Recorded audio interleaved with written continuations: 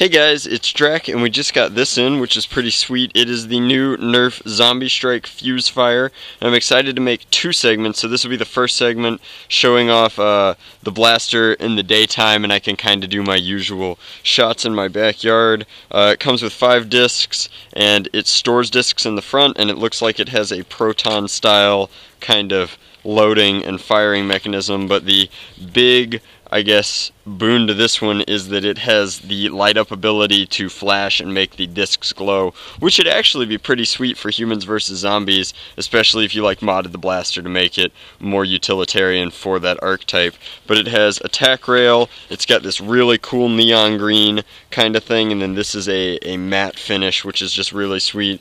The, uh, the overall design for this blaster is awesome, so I'm going to go ahead and carve it out of the package so that I can show it to you and do the daytime firing segment and then I'll of course load it up. It's going to take three AAA batteries I believe.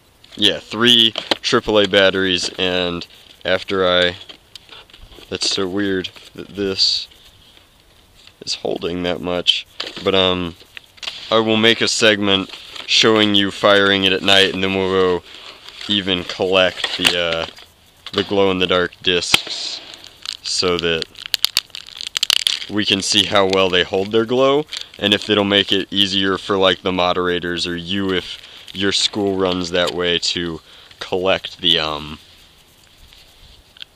ammunition. So it looks like you can store your discs in here.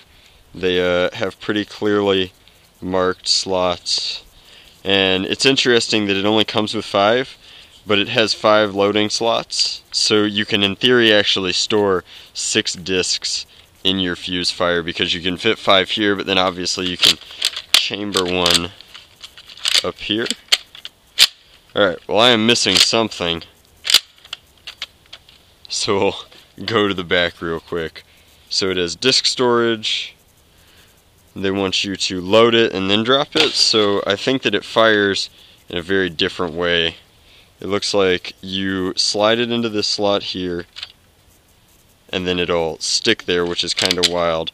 You pull it back and I don't know if you guys can tell but it drops in and then you let it fly forward to chamber it which is kind of cool. So now we're chambered and ready to fire. The interesting thing is it looks like I can store my next shot after chambering and it'll stick there without any misfires. So in theory, you could store seven discs at once. This blaster is really cool. I, I really like that kind of design. So we'll fire it about shoulder height. And we're getting pretty average ranges. I don't know what it's claiming, but it looks like the discs are flying about 45 feet or so. So it'll probably need a mod of some sort. But now we can pull this back chamber and fire again which is pretty wild, and we can continue in that fashion. Now we can load the second one. So, I like this blaster. I think that it's got a really cool design. The handle is a little bit small, but the trigger pull is comfortable. You could two-hand it if you really wanted to. I'm going to go pick those up, and uh, we will make a nighttime segment after this.